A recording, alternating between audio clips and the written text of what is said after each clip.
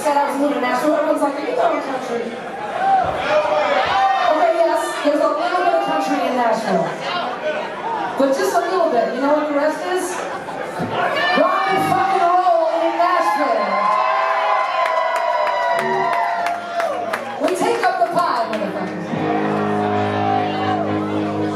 Infiltrate.